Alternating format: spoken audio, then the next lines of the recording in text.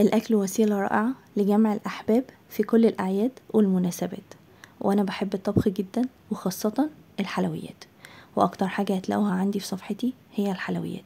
بحب طول الوقت أطور من مهاراتي وأتعلم كل حاجة جديدة في مجال الطبخ والتعليم طول الوقت هو طريق النجاح لأي حاجة بتحبها. أنا فاطمة محمد ودي صفحتي ولو أول مرة تشوفوني متنسوش الاشتراك في قناتي وتفعلوا الجرس عشان يوصلكوا كل الفيديوهات الجديدة.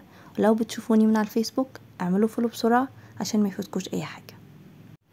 النهاردة بقى هنعمل مع بعض حلويات باردة سهلة جدا ومكوناتها بسيطة ومتأكدة إن هي هتبقى موجودة عندكم في كل بيت.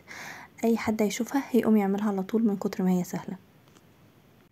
وفي نفس الوقت حلويات باردة مناسبة جدا للحر ده. هنعملها بالبسكوت وبالشوكولاتة. يلا ندخل على طول في مقادير الوصفة. أول حاجة معانا 500 ملي من الحليب الدافي وهنحط عليهم معلقة كبيرة من الجيلاتين معلقتين كبار من الكاكاو الخام ومعانا تلتين كوباية سكر ما يعادل 80 جرام من السكر.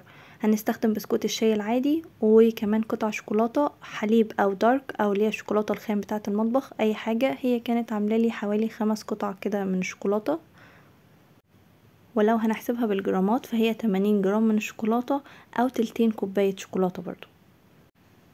هنحط الحليب وهنحط عليه كل المكونات هنقلبهم كده الأول على البارد يعني الحليب بيبقى دافي عشان الجيلاتين ما يكتلش معانا فهنحط الحليب وهنحط عليه الكاكاو والجيلاتين وهنقلبهم وبعد كده هنحط عليهم الشوكولاته ونرفعهم على النار لحد ما يغلوا.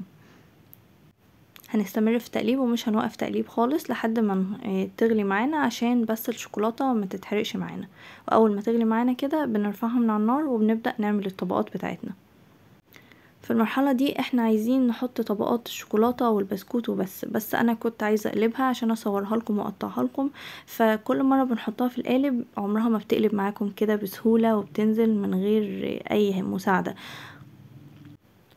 طبعا مش هينفع ورق الزبدة هيبوش معايا بسرعة. فاستخدمت ال vacuum وحطيت عليه لزق double face كده ولزقته في قاع القالب بتاعي علشان لما أجي أقلبه ينزل بسهولة ويبقى في حاجة فاصلة ما بينه وما بين القالب.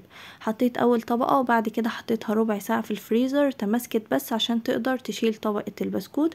وبعد ما أحط أول طبقة بسكوت هحط عليها طبقة شوكولاتة كمان وهحطها في الفريزر كمان ربع ساعة لحد ما تتماسك وتقدر تشيل الطبقة التانية من البسكوت وهكذا لحد ما أخلص كل طبقات الشوكولاتة والبسكوت اللي عندي.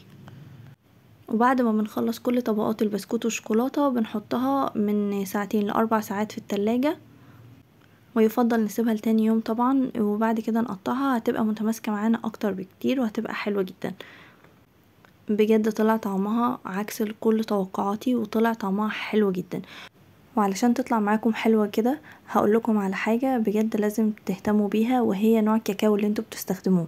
لازم تستخدموا كاكاو نوعه حلو ومش كل الكاكاو الموجود في السوق نوعه حلو. فروحوا لبتوع مستلزمات الحلويات وجيبوا كاكاو أسباني هو ده الكاكاو اللي أنا بستخدمه على طول في حلوياتي. وبس كده وشكرا بجد ليكم وشكرا للمتابعة.